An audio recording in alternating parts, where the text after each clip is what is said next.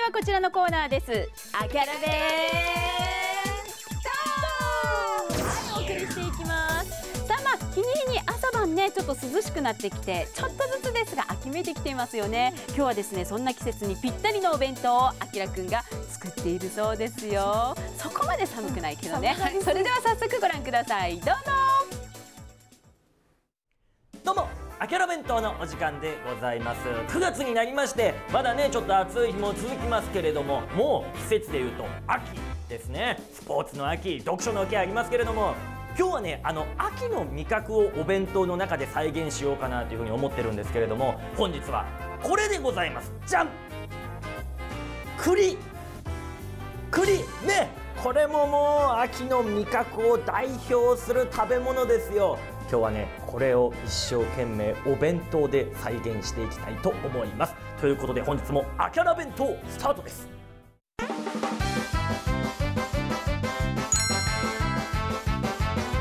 僕が思ってるのはですねこのイガグリありますけどこのイガグリとあと普通の中身の黄色い栗あと栗は栗でもちょっと違いますけどどんぐりねこの秋の栗三種盛り弁当がちょっとできたらななんていうふうに思っております。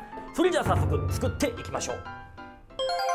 ということでまず最初の栗ですけれどもえイガグリの中に入っているあの殻付きの栗ありますね。あれをご飯で、えー作っていきたいなというふうに思います、え材料はこちらです。白いご飯と白ごまを使います。そしてですねこちらに味付けをしていくんですけれどもそれがですね今日はこちら使います。じゃん。これ分かります？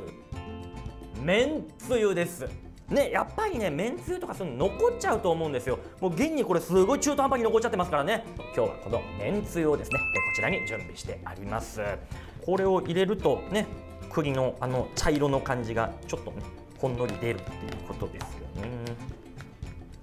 続いてこのご飯をですね、えーラップで握っていきます。まあお弁当の大きさによってねまたこのサイズは変えてください。先ほど準備したこの白ごまにつけていきます。下の部分だけこれは、えーつけていきたいですね。どうだ？ほらなんか可愛らしくないですか？ね？栗型の可愛らしいおにぎりが出来上がりました。さあ続いては栗は栗でもどんぐり作っていきたいと思います。材料はこちらでございます。ウインナーしめじそして揚げパスタのたった3種類。これはねすごく簡単ですのでもうパパパッと作っていきますね、えーまずはこちら。ウインナーを半分ぐらいにカットします。さあ続いて、えー使う食材がこちらのしめじでございます。ね、もうお察しの言い方はもう分かってるかもしれませんけれどもこのしめじのこちらの傘の部分を使っていきたいと思います。そうするとほらどんぐりねすごいあ思った以上に可愛いいいですね。そしてラストに作っていくのがこいつ。イガグリですよ。やっぱりねこのイガイガが難しいんですけれども今日はこのイガイガをあれをああしてそんでもってこうして作っていきたいと思います。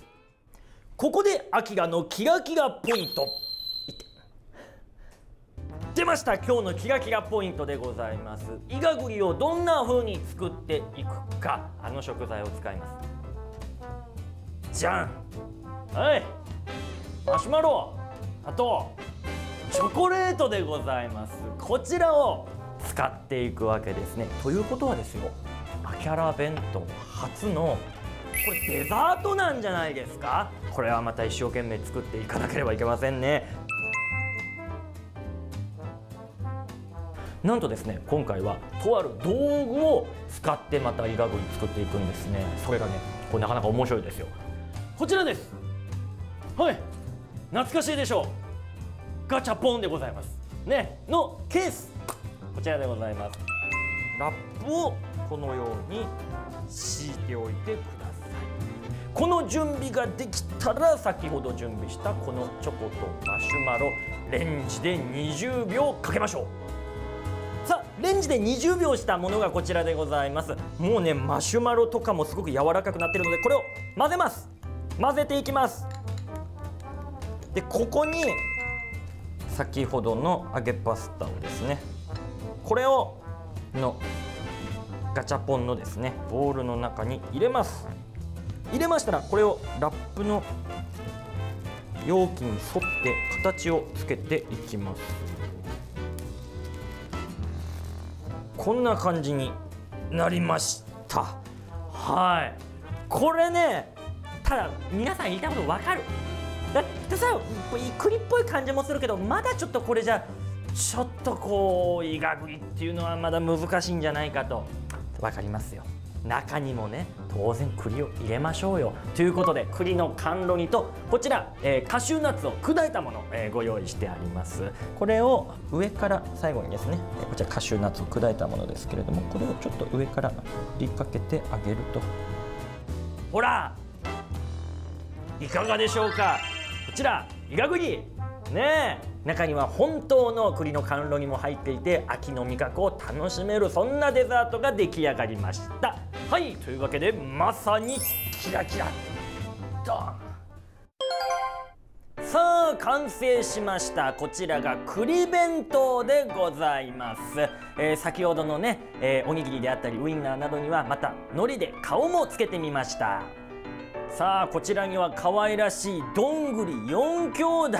そして上の方にはですねできるだけ忠実に再現したイガグリのデザートを作ってみました。さあ出来上がったこちらの栗弁当を食べていきたいと思います。なかなかね可愛らしく出来上がりましたけれどもやっぱり気になってしまうので今日はねイガグリ、えー、食べてみたいと思います。こういったデザート入ってるっていうのはね嬉しいんじゃないですか。では。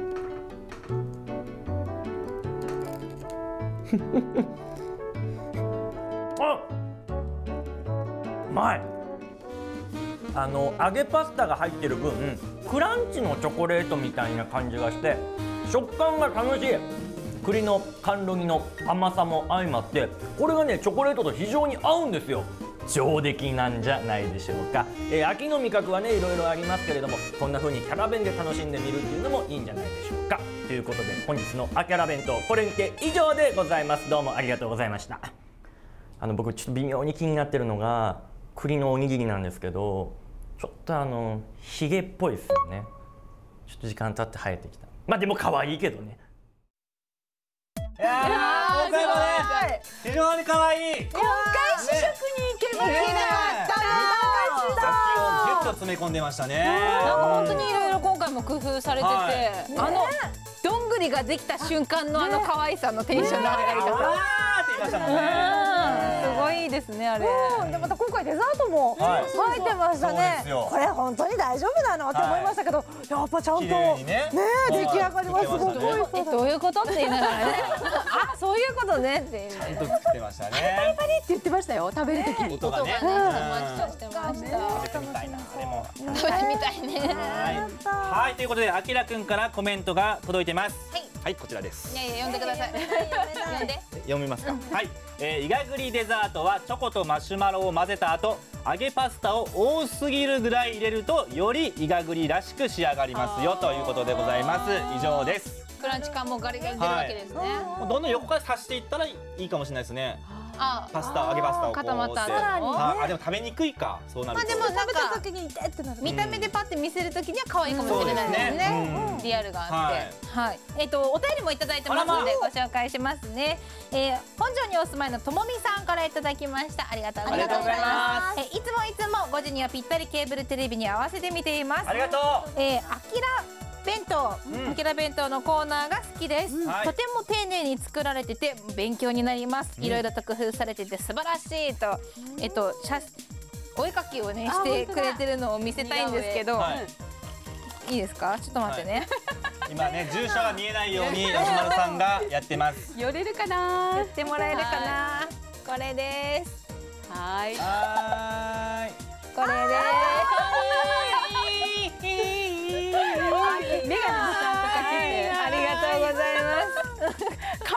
ざいますカメラマンがものすごくこうやって覗きどこどこちっちち悪くねありがとうございます書いてくれてましたけど嬉しいですね。